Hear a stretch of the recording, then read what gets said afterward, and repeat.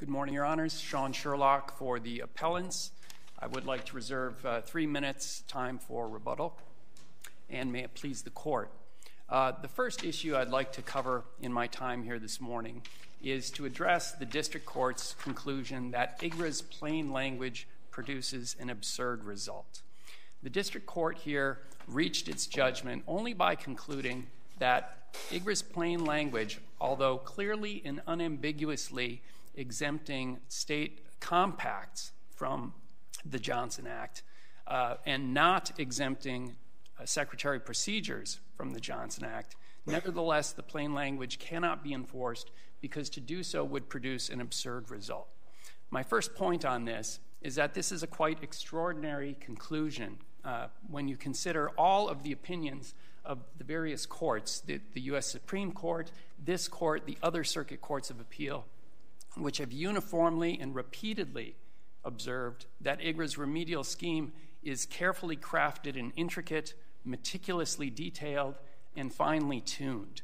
Our district court really stands alone in concluding that the language produces an absurd result.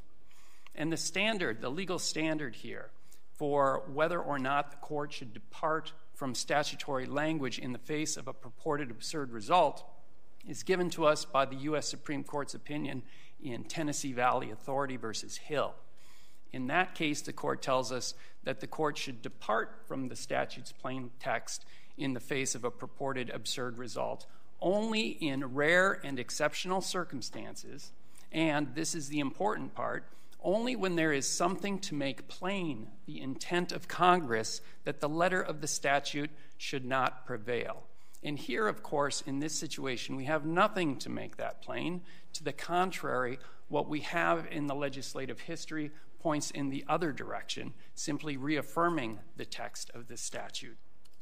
And here, the district court, to reach its conclusion, really had to strain to interpret the statutory language quite narrowly in quite a cramped manner that created and produced its own internal inconsistencies and conflicts with other federal laws, rather than interpreting the language more naturally in a manner that would harmonize it both internally within itself and with other federal laws.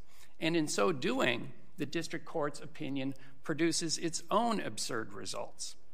For example, under the district court's opinion, that the secretary lacked any discretion to consider other federal laws, may not consider other federal law in, in pres- prescribing the procedures, we end up with a situation where a state and a tribe could collude, as they appear to have done here, to structure the procedures so that they can avoid federal laws. And according to the district court's opinion, there is nothing that the federal government or the courts can do about that.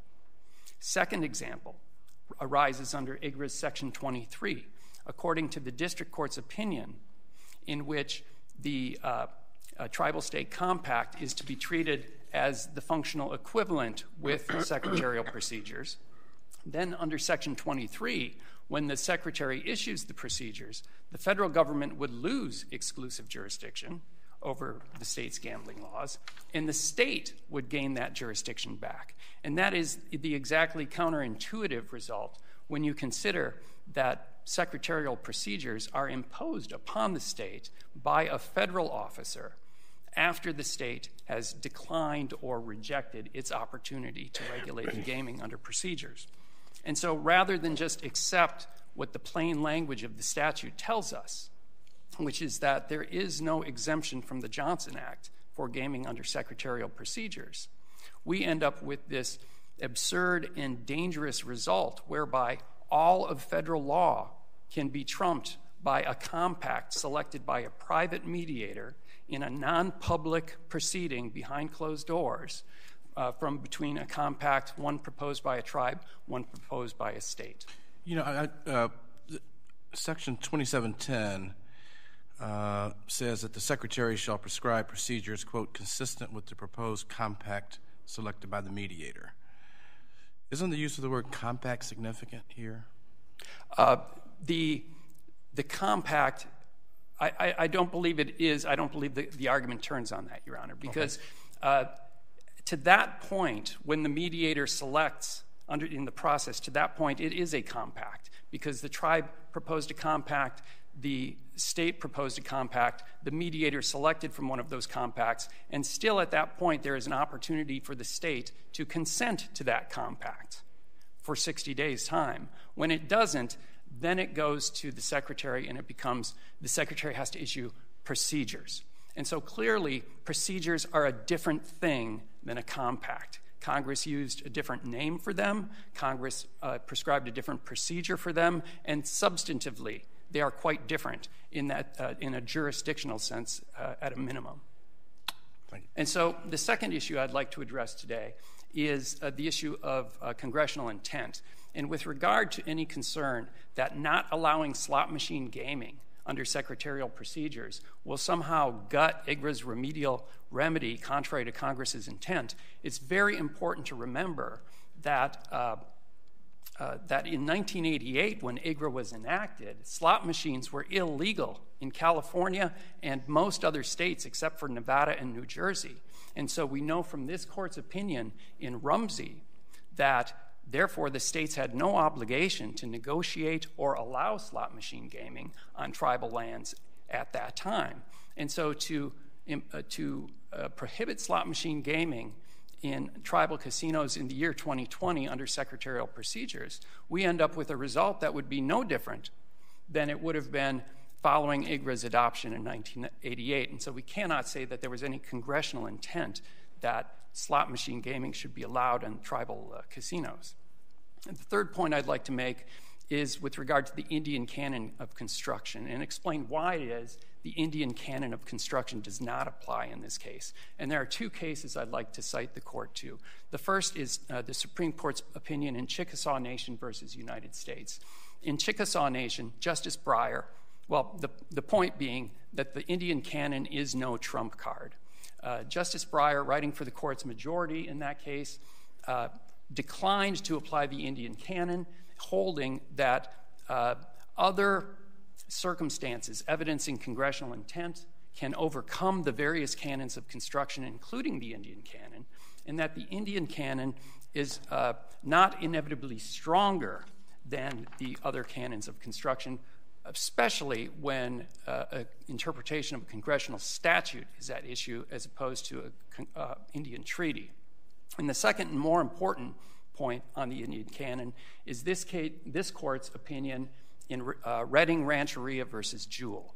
Because while a very narrow interpretation of the Secretary's discretion to modify secretarial procedures, or a very narrow interpretation of the phrase consistent with, may favor the tribe in this case, it could work to the disadvantage of another tribe in a different case.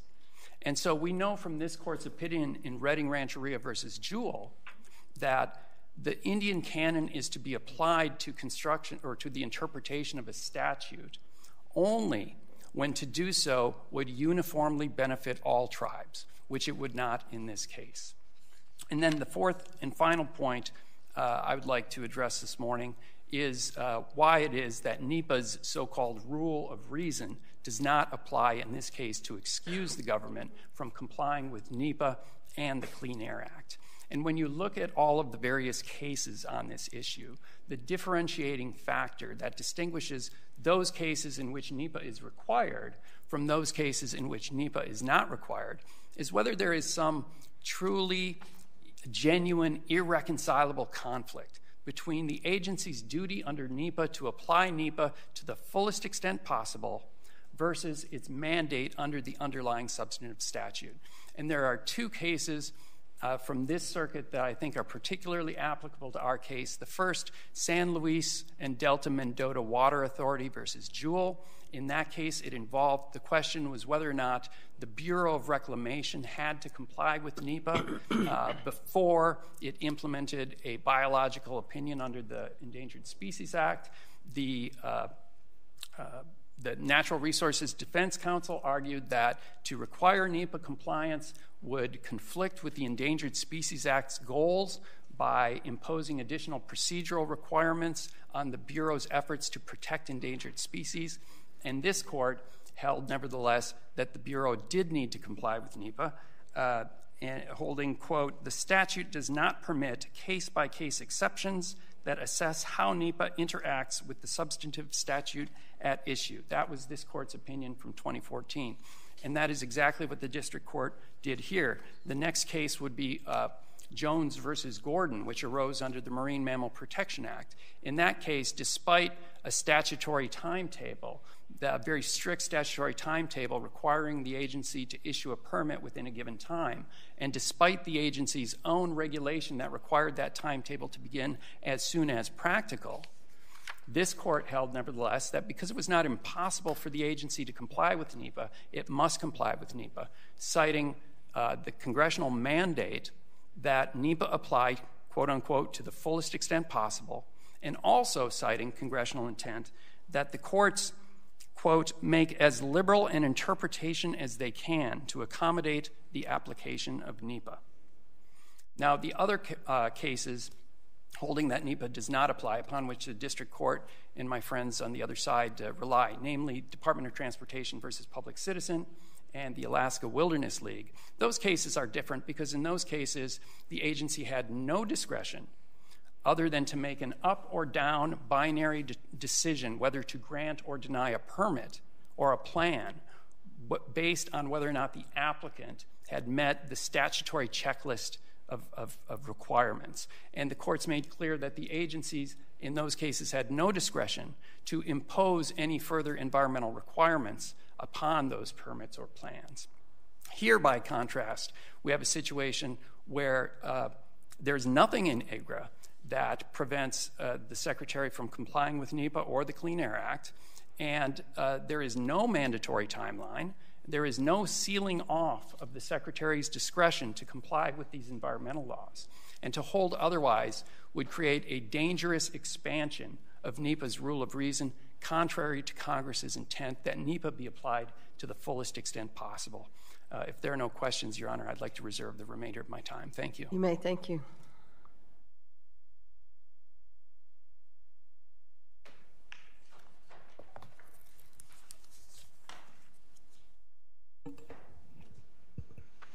Good morning, Your Honor. May it please the court. My name is Rachel Heron on behalf of the federal appellees. Uh, for your court's awareness, and if it's agreeable, I'll plan to use about nine minutes of the time that's been allotted to the appellees before yielding the podium to counsel for the intervener, North Fork Rancheria. The question before this court is whether, under the Indian Gaming Regulatory Act, or IGRA, a state's refusal to negotiate in good faith with an Indian tribe condemns that tribe to conduct a lesser form of Class 3 gaming on Indian lands than that enjoyed by other tribes. Plaintiff Stand Up says yes. Specifically, Stand Up argues that Class 3 gaming under secretarial procedures, which are a substitute for gaming under a tribal state compact, is lesser than gaming under a literal tribal state compact in two ways. First, that the scope of gaming under secretarial procedures is lesser because it cannot include slot machines. And second, because any Class 3 gaming authorized under secretarial procedures must be preceded by a time consuming environmental analysis above and beyond the extensive environmental analysis that the Secretary already performed at the time it took this land into trust. Stand up is wrong for two reasons. Stand up is wrong on both counts. So, uh, if it's agreeable to your honors, I'd like to start first with the scope of gaming question, the slot machines question. Stand Up presents this case as if it's a trade off between plain text versus some other policy goal. That is the wrong framework. This case is about plain text of a provision in a vacuum versus the text of a provision in the context of other text in the statute. To elaborate on that, everyone agrees that the remedial provisions of IGRA, which are the provisions that provide for the issuance of secretarial procedures, do not themselves contain any limitation on the types of Class 3 gaming, which is defined by statute to include slot machines, that may be conducted under secretarial procedures. To the contrary, the statute says that secretarial procedures must allow for Class 3 gaming without limiting language, and further provides that that must be consistent with state law, IGRA, and a compact selected by a court appointed mediator, which here included the use of slot machines. There, so instead of relying on that provision, which is the most direct governing authority on what secretarial procedures do, where we would expect any limitation on what secretarial procedures can contain, can contain to occur, Stand Up instead looks at Section 2710D6 of the statute, which provides an express exemption from the Johnson Acts uh, with regard to gaming conducted under a tribal state compact. Now, I will readily admit that if we were looking at that language in a vacuum, the most obvious reading would be that under a tribal state compact simply means under a literal tribal state compact. But when we look at that language in the context of the statute at large, we know that actually compact has a broader meaning. Specifically, Congress uses the word under or the phrase under a tribal state compact in IGRA to refer to both gaming that is conducted under a literal compact or or rather and gaming that is conducted under the secretarial procedure substitute to a compact. I think the clearest place that we can see that usage is in section 2710d1 of the statute, which says, and I'm quoting, Class 3 gaming shall be lawful on Indian lands only if such activities are, ellipsis, conducted in conformance with a tribal state compact. Now, given that we know that Section 2710d7 authorizes Class 3 gaming under secretarial procedures as well, that statement in 2710d1 cannot be correct, cannot be true, unless we understand the reference to gaming under a compact to mean gaming under a compact or under the sanctioned substitute for a compact. I'd like to ask you a question regarding the environmental claims, if I Certainly. Your Honor. Happy to turn there. it appears you argue that uh, nothing in, IGRA gives the, the Secretary the authority to consider alternatives to the mediator selected compact. Um, do, do you concede that NEPA generally requires more than just a consideration of proposal alternatives? Uh, I'm sorry, Your Honor. I'm, I'm not quite sure. I guess I'm just I'm just trying to figure out why why is it or is it your position that IGRA does not authorize the secretary to consider the environmental impacts here uh, of the mediator selected compact or mitigation of its adverse impacts?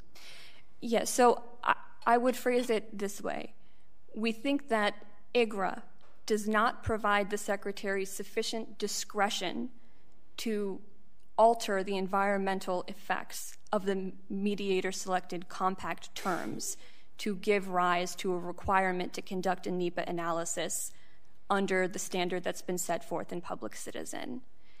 So I, I, I guess does that mean then in prescribing these special procedures that the secretary is permitted to modify a mediator selected compact that by, could violate federal law?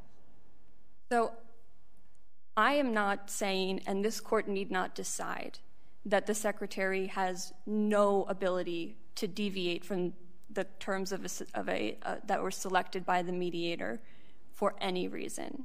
The question is whether whatever amount of discretion the secretary has extends to including environmental conditions that were not part of one of the selected compacts.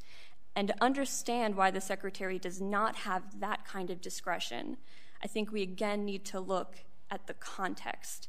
As we've said, secretarial procedures are a substitute for a tribal state compact. And they're a substitute that occurs not when the tribe has done anything wrong, but when a court has found that a state did not meet its statutory obligation to negotiate in good faith with the tribe in a circumstance where the state does negotiate in good faith and where a tribal state compact is reached, there is no dispute that the Secretary of the Interior does not have an opportunity in that process to alter the terms that were selected in order to account for environmental uh, concerns. To nonetheless find that in the secretarial procedures context, the secretary has the discretion to alter the terms of the mediator selected compact in order to avoid various environmental concerns would create a, disparate burden on tribes that are required to resort to the secretarial procedures as a result of a state's intransigence. And what's the authority for that? I think that's in, inherent in the way that we in this in this statute. There's no question that it would create a different burden in the secretarial procedures context than in the uh, compact um, context. So I think. Well, in the compact context, NEPA would apply, but in the secretarial procedures, NEPA would not apply? No, Your Honor, let me be clear. There is no NEPA analysis in the compact process. In the situation where a compact is entered into, there is no NEPA that must be done. Our view is that in order for this to be a true substitute for a compact, the same should be true of secretarial procedures, at least in the absence of some text that clearly indicates the contrary. Here, there is no such text that indicates the contrary because we have this, this uh, the language regarding what the secretary must do when it's issuing secretarial procedures. First, puts the court appointed mediator in the driver's seat, not the secretary. IGRA could have designed a process where the secretary gets all sorts of uh, you know, free-flowing discretion on what the, the material inside these procedures would be, but it's not what they chose. And second, because there's a list of things that the secretary is to consider when it is uh, putting the secretarial procedures in place, and NEPA and environmental concerns are not listed. I think that omission in the context of a situation where we would be setting up a disparate burden on tribes that must do a compact versus secretarial procedures shows you that there's no such discretion here. I would like to yield the remainder of the time unless the court has another question for the United States. Thank you.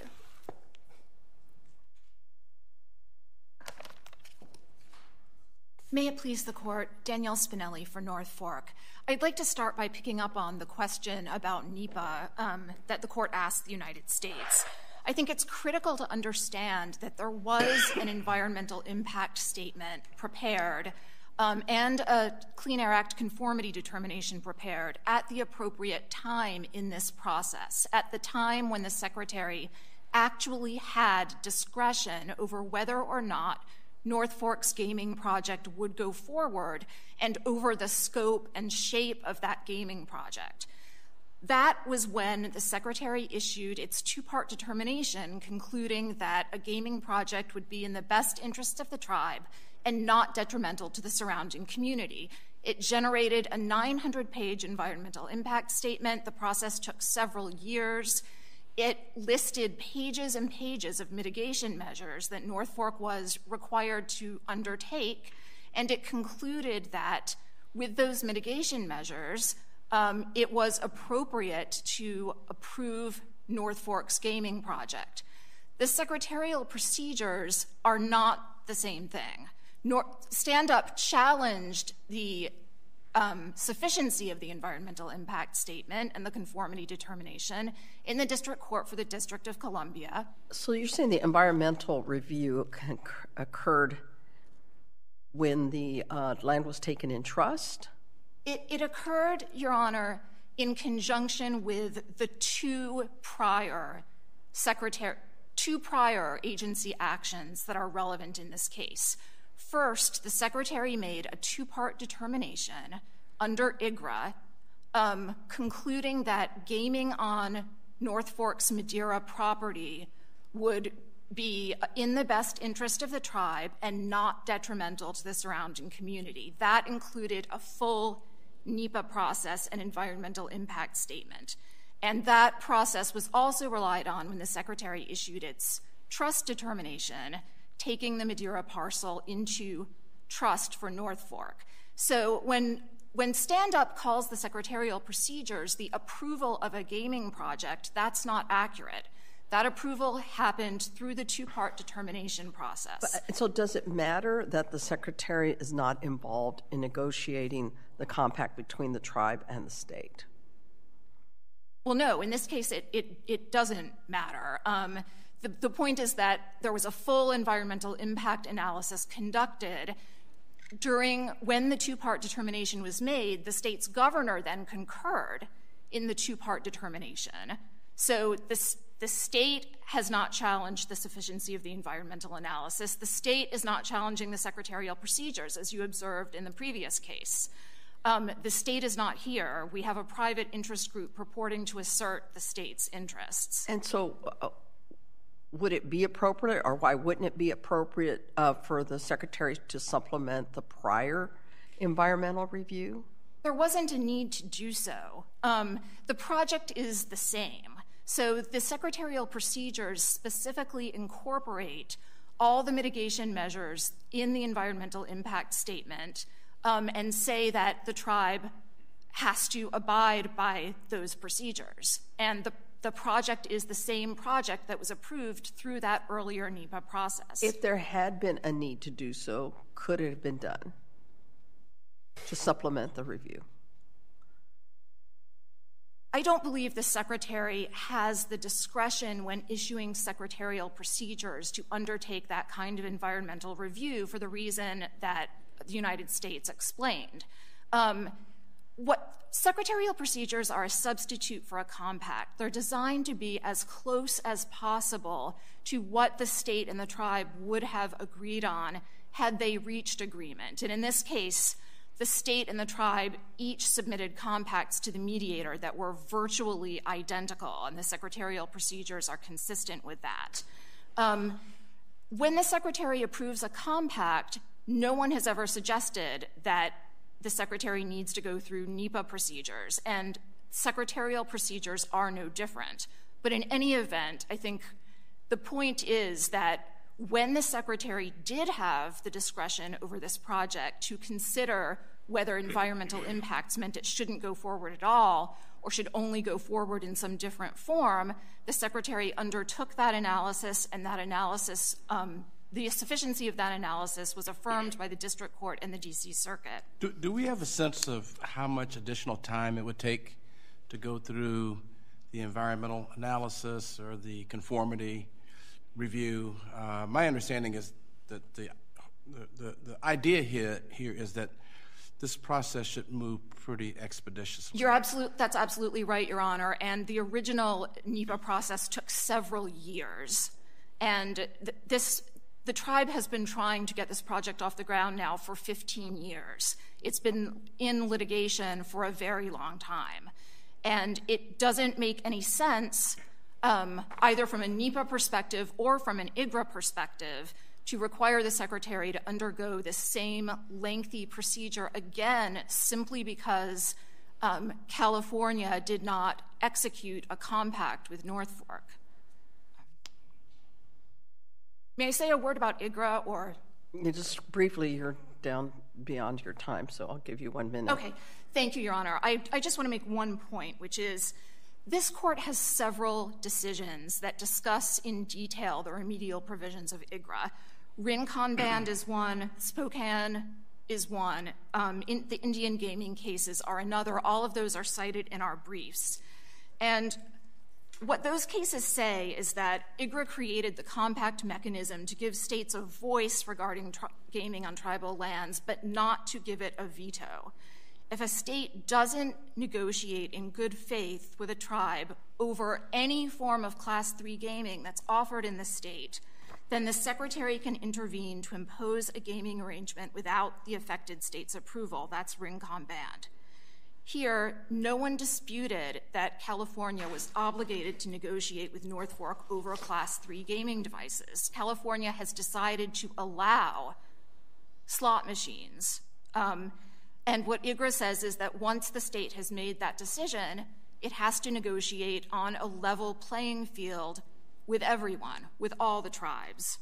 Um, and Indeed, the state and the tribe both proposed identical compacts to the mediator, both of which were centered on the use of gaming devices. And in order for secretarial procedures that didn't allow North Fork to operate Class 3 gaming devices wouldn't have satisfied either requirement for secretarial procedures. They wouldn't have allowed Class 3 gaming, which is a defined term in IGRA that includes gaming devices, to be conducted, nor would they have been consistent with the mediator selected compact, and they wouldn't have provided North Fork with the remedy it was entitled to. Thank you. Thank you. Unless uh, Judge Gould, do you have any other questions? No. Okay, No thank you. question. No, thank you. Uh, I think you have uh, three minutes left for your rebuttal, but I'll give you an extra minute if you need it. Thank you, Your Honor. Uh, I don't think I will need it. Uh, with regard to um, my friend's comment about the EIR having been prepared at an earlier stage, uh, and, it's true there was an EIR prepared at an earlier stage, but it was not for the same project. The project is different now under the secretarial procedures. Uh, the comment that the project is the same is simply not true. The project that was approved, and we've covered this in our brief, the project that was approved under the prior uh, fee to trust determination and the IGRA gaming determination was a 68,000 uh, square foot casino floor in a single casino with 2,000 slot machines. But now, under the secretarial procedures, we have uh, up to two casinos with up to 2,500 slot machines and unlimited size of a casino gaming floor. And so the project is very much different. The other thing I would point out on this issue is that there was no reliance by the Secretary on that prior EIS under NEPA. In fact, in addition to the statement in the approval letter stating that this, these secretarial procedures are separate from the, the Secretary's prior determinations, we don't have the prior EIS in the administrative record in this case, demonstrating that there was no effort or intent by the Secretary to rely on that prior EIS or on the prior conformity determination. Well, won't this, uh, if you need a new EIS or conformity analysis, is, won't this extend the time uh, for getting this matter off the ground for by years? I mean, the, this Congress seemed to um, uh, express the intent that this procedure move you know, pretty quickly. Well- and this, this seems like it would really slow things down. Uh, not for years, certainly, Your Honor. Uh, uh, this court confronted that question, I believe, in the perhaps the Rincon case, in, which it concluded that 120 days is the statutory or at least the regulatory time frame for preparation of an EIS. That would be the minimum amount of time, and, and granted, they can take longer than 120 days. But there's no reason to believe it would be years, particularly where they already have a foundation to work from with the prior EIS. And in fact, I would also point out that the Department of the Interior has its own NEPA regulations at uh, uh, 43 CFR Part 46, and specifically Section 46.120, which guide the agency when it is going to approve a project that is different from, you know, that varies from a project analyzed under a prior EIS. And so, does this happen routinely in other special, where, where other special procedures are used? Uh, Your Honor, I'm, I'm not sure that it has. In fact, Your, Your Honor asked the case uh, or the question earlier about how many times have these procedures been issued. In the record that we have in this case, we know of, I think, only three instances the Northern Arapaho, the uh, Mashantucket Pequot, and the Rincon. And I would point out that at least in two of those cases, the Northern Arapaho and Mashantucket Pequot procedures, the Secretary, contrary to the position they take in this lawsuit, saying they have no the Secretary has no discretion to modify procedures, the Secretary did in fact modify procedures in those cases as well as in this case. Um, And in those cases, uh, if you know, um, was it dramatically different in terms of the modification? I'm sorry, Your Honor, I don't know the history uh, behind all of those details with those particular procedures, but uh, and whether or not NEPA is complied, even if it was not, just because the Secretary may have not complied with the law in two or three prior instances over the last 30 years, seems to me a poor reason to to give that practice the force of law and overcome uh, NEPA. If there are no further questions, thank you, Your Honor. Thank you very much. Thank you uh, all for your presentations here this morning. Really appreciate the oral arguments. Um, so the case of Stand Up for California versus U.S. Department of the Interior is now submitted. And um,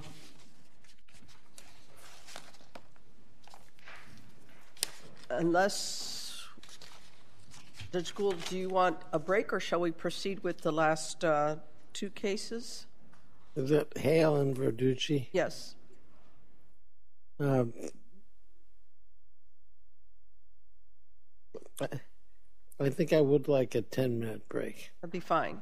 Um, so we'll be uh, in a brief recess for uh, 10 minutes, uh, and then we'll resume uh, with the next case of uh, Beverly Hale versus Bay System San Francisco. Thank you.